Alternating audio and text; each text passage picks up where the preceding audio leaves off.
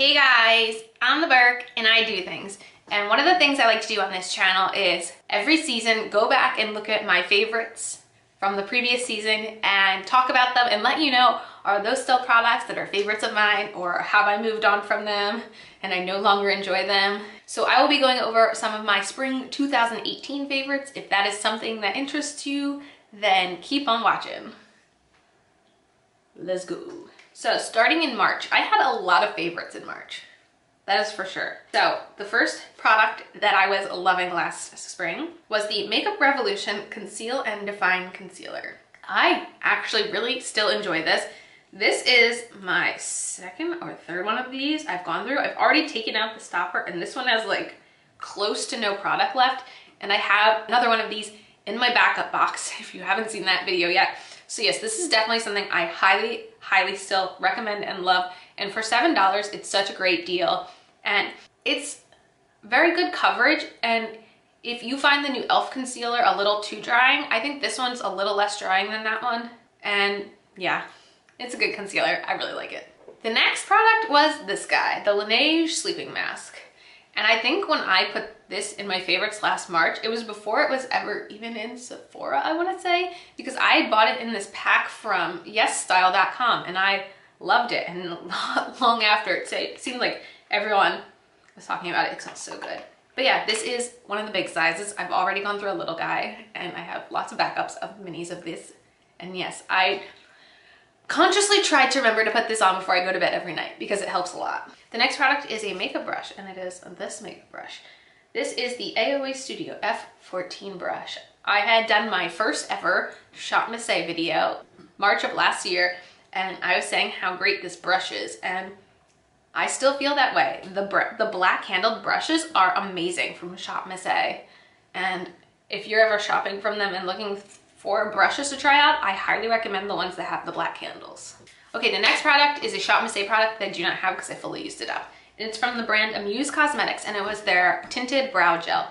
And I thought it was a great brow gel. Have I repurchased it? No, because I have so many other brow gels available in my drawers right here. But no, I really did enjoy it. My only issue with it was the wand on it is a little bit bigger than I love, but that's how I feel about the Anastasia one too, so I really liked it. I would recommend it. Okay, next is my favorite mascara, which is the Benefit Roller Lash. No, this is not the same one from last March, but yes, I have repurchased this. I've gone through, this is probably my third roller lash. I prefer minis in general, but yes, my favorite mascara, my go-to mascara if I need a full day of lashes. Oh, look at that. Last year I had scrunchies. Who would have known now I'm a scrunchie and headband girl the total uh, combination platter here. okay, my next product I had on there was ColourPop Flexitarian. Last month I actually included this in my top drugstore highlighters, so I still feel like this is a favorite. I have the lip product I have on in my last year's favorites and I forgot about it. And when I put it on this morning, I was like, holy crap, why did I ever stop wearing this? This is amazing. This is the L'Oreal Infallible Pro Matte Gloss in the shade Bare Attraction. And I forgot how much how good this formula is. So this is kind of what it looks like. It smells yummy. It is a great product. Yes, I still love it. I just kind of forgot about it for a little, which is why these videos are really awesome. So those were my March favorites from last year. Now, I only have two makeup products from last April. The first is still a favorite. It is the Smashbox So Chill Coconut Spray, which I believe was limited edition. So I use it like never because I don't want it to go away.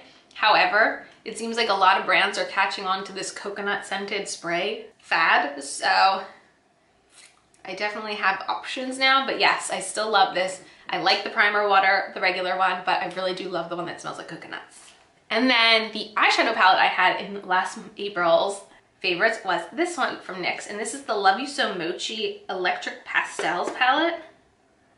Oh dear, one of those shades just broke. It's because they're so soft. I'm just literally pushing it back together because it's such a soft formula. Some sparkle on my pants now. Okay, I'm going to be very careful.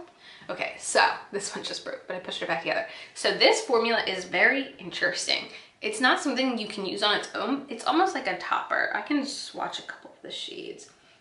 I haven't used this lately, but that's because it hasn't been electric pastel like season. Like that's coming up now, but this is what they look like, some of the shades. But as you can tell, like when I swatch them, they're very like a topper. And this was why I wasn't crazy about the one we got from Smashbox in Ipsy, in my Ipsy Glam bag. I think it was my first one because I like the way these work a lot better than the Smashbox ones. So I think these are great. It's a great formula, but it's not one that you could ever use alone.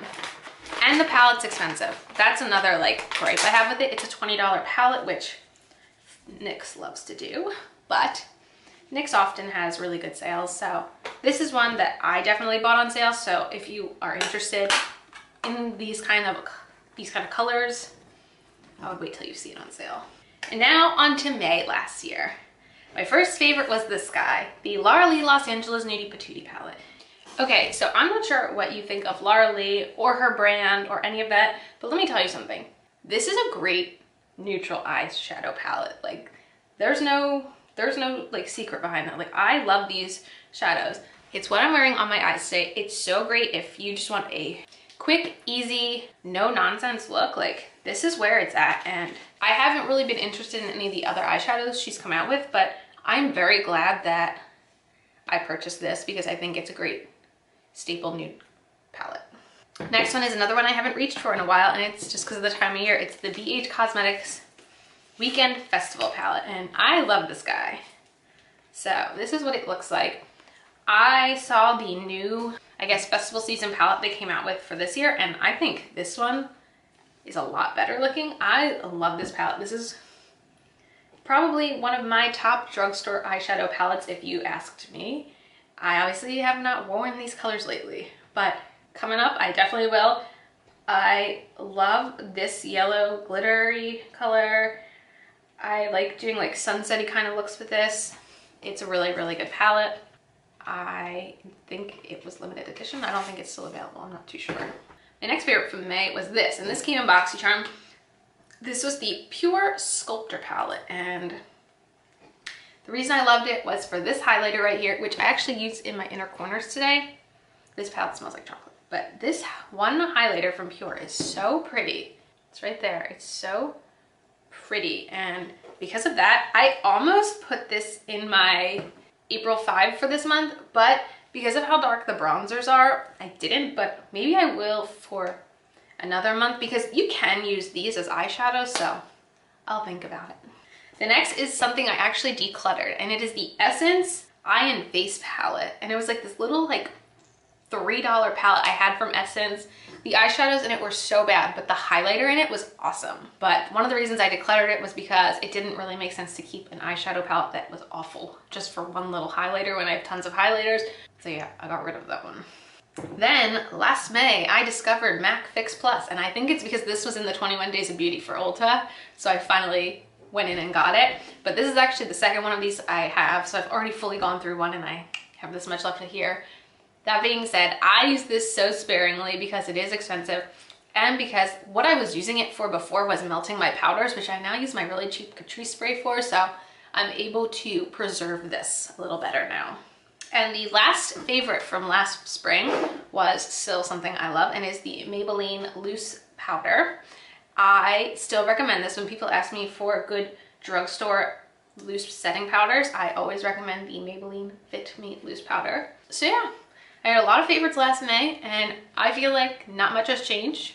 So let me know, do you guys still love these products or have you kind of moved on from them? Leave me a comment down below and let me know. As usual, thanks for stopping by my channel. If you're new here, click the subscribe button and ring that bell for notifications. I have my Twitter and my Instagram down below give them a follow and I'll see you in the next video. Bye guys!